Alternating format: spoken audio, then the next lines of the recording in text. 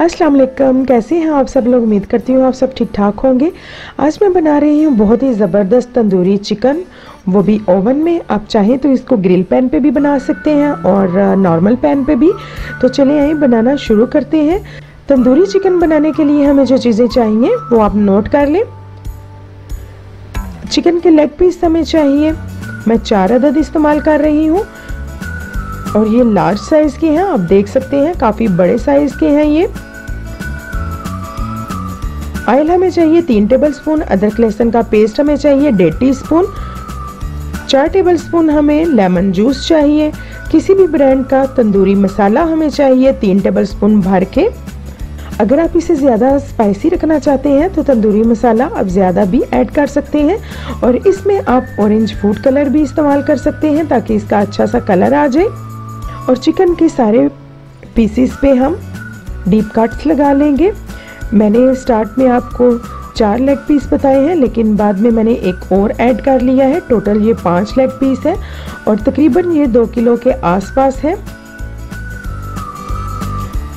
इसी तरह मैं सब पे डीप कट्स लगा लूँगी। सब पे डीप कट्स लगाने के बाद अब हम इसको मैरिनेट करेंगे लेमन जूस अदरक लहसुन का पेस्ट तंदूरी मसाला ऑयल इन सबको डाल के अच्छी तरह से हम इसको मिक्स करेंगे।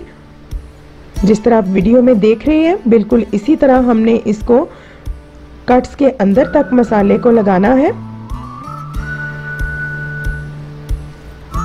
बहुत कम इंग्रेडिएंट्स हैं और ये बहुत टेस्टी बनता है, आप इसको ज़रूर ट्राई कीजिएगा।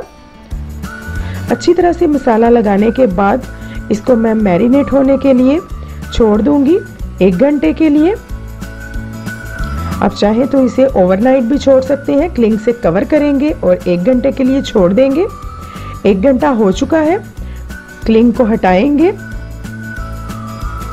और मैंने इधर एक बेकिंग ट्रे ली है। उसके नीचे मैंने फॉयल पेपर लगा के और ऊपर मैंने जाली स्टैंड रख दिया है। और इस तरह लेग पीसीस को हम इसके ऊपर अरेंज कर देंगे।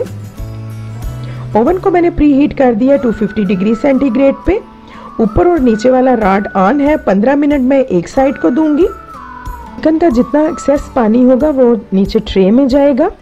और ये देखिए 15 मिनट एक साइड को हो चुके हैं।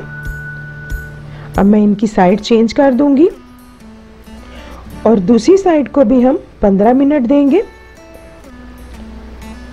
15 मिनट के बाद, आप देख सकते हैं इस पर बहुत अच्छा सा कलर आ चुका है। अब मैं इसकी दोबारा से पहले वाली साइड कर दूँगी और इसे भी हम पाँच मिनट देंगे ताकि इस पर अच्छा सा कलर आ जाए। ये देखें, पाँच मिनट के बाद इस पर बहुत ज़बरदस्त सा कलर आ चुका है। अब मैं इसको प्लेट में निकाल लूँगी।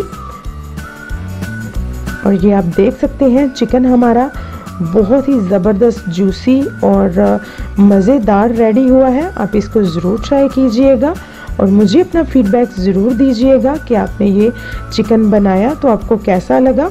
आप इसे दावतों में भी बना सकते हैं और इसको आप नान के साथ, तंदूर की रोटी के साथ, किसी के साथ भी सर्व कर सकते हैं।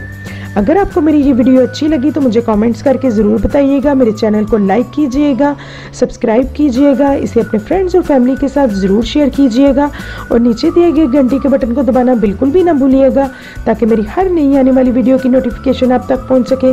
अल्लाह ताला आपको डेरों खुशियों से नवाजे, अल्लाह ताला आपकी तमाम नई ख्वाहिशात को पूरा करे। अल्लाह ताला आपको अपने हिफ्स मान में रखे। मुझे अपनी दुआओं में याद रखिएगा। मेरी नेक्स्ट वीडियो तक के लिए फ़ी अमान अल्लाह।